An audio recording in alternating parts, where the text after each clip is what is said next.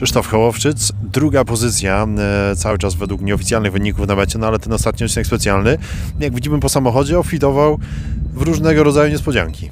Tak, jakieś problemy techniczne, prawe przednie koło zaczęło coraz gorzej pracować, chyba się rozkręcało, no i finalnie e, coś się urwało. No trudno powiedzieć w tej chwili, bo widzę, że to koło robi swoją, swoim życiem żyje.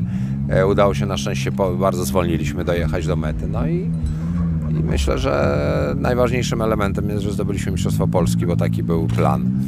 E, cały nasz zespół w bardzo dobrej formie. Michał zwyciężył. E, przez to też będzie trzeci w Mistrzostwach Polski. Także myślę, że to dla nas udany sezon, bo już tak trzeba trochę podsumować. E, no, rajd fajny, wyjątkowy. Te 3,70 pędziło się cały czas pełnym gwintem.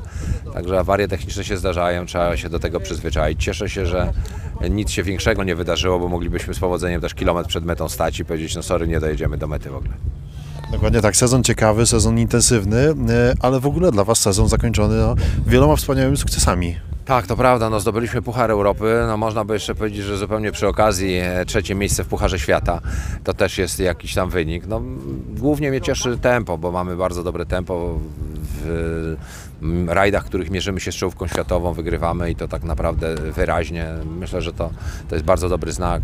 Oczywiście X-Rate mi daje najlepszy możliwy samochód, takie mini jak, jak jedzie w tej chwili Michał, to jest naprawdę samochód bardzo wysokich lotów i, i, i mam świadomość, że e, ścigając się w Mistrzostwach Polski tym, tym starym BMW, e, no mogę jak gdyby dawać siebie i, i Łukasz też dajemy z siebie wszystko, żeby wyrównać szanse na walkę i to jest właśnie bardzo fajny dla nas trening, a zarazem no przy okazji wiadomo, że walczymy, zawsze walczymy, u nas nie ma tak, że tam jedziemy się przejechać, także cieszę się bardzo, że Michał z Julą zwyciężyli, to był dla nich e, trudny sezon, bo wiele różnych przygód, choroby, nie można było wystartować w rajdach, ale finalnie dali radę. Myślę, że to jest e, taki sukces naszego zespołu, tych wszystkich treningów, godzin spędzonych razem. O to chodziło. Kolejny start to O, nie wiadomo. E, Najchętniej bym wystartował w Rasia e, w rajdzie po śniegu, gdzie już będzie to pierwsza eliminacja Pucharu Świata. No bardzo byśmy chcieli, ale wiadomo, zawsze się składa jakieś budżety, coś się dzieje.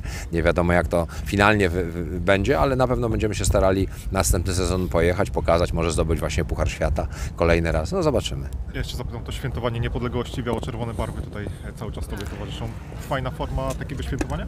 O, no to, to jest w ogóle e, sam fakt, że udało się ten rajd w tym terminie zorganizować i on, i on no, jest uwieńczony tym świętem niepodległości. Myślę, że dla Polaków to, to, to ważny moment, ważny, ważny czas, bo wszyscy powinniśmy w jakiś sposób świętować, może niekoniecznie z baseballami, ale, ale w tej sytuacji, jak, jak my startowaliśmy, jak jednak i zawodnicy, i wszyscy e, czuli, że, że tu gościnnie e, zostaliśmy bardzo gościnnie przyjęci przez ludzi, którzy e, bronią naszego kraju. Myślę, że na poligonie właśnie cała e, grupa wspaniałych ludzi, którzy mają świadomość, co to jest obronność i, i, i co to jest e, właśnie walka o, o, o niepodległość, o, o, to, żeby, żeby ten kraj był wolny. No chciałbym, żebyśmy e, jednak czuli się gospodarzami swojego kraju chyba to jest ważne.